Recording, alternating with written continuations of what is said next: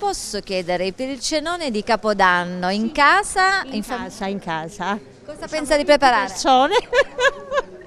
Numerosissimi. sì, infatti, e niente, oh, stiamo preparando, ognuno prepara qualcosa e lo porta giustamente perché non- per non caricare il- eh, chi ci ospita, insomma. No, a casa sicuramente.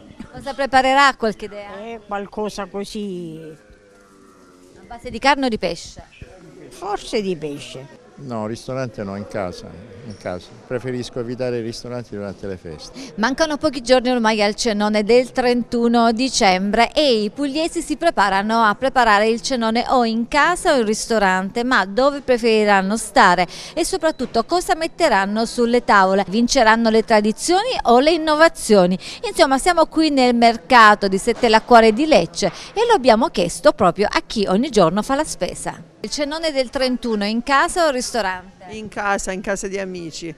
Lei cosa porterà? Preparerà qualcosa? Ora non lo so. Sì, ma ai parenti.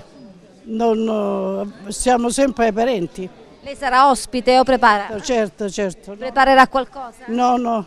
Signora, le posso chiedere, per il menù del 31 ha già qualche idea? No, io vado a casa alle figlie, si interessano loro, no. Perfetto. Quindi sarà ospite?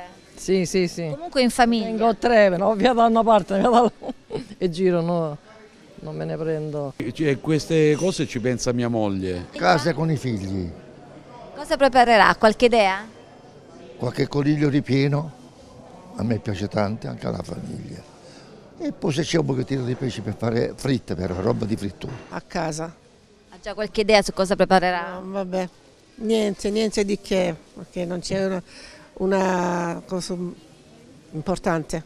Siamo solo due persone. Il 31 si, eh, si va al ristorante, si va. eh, no? Chi lo vuole fare in casa come pesce cosa dovrebbe comprare? Cosa non dovrebbe mancare? Secondo gusti, secondo... non ti so dire la verità.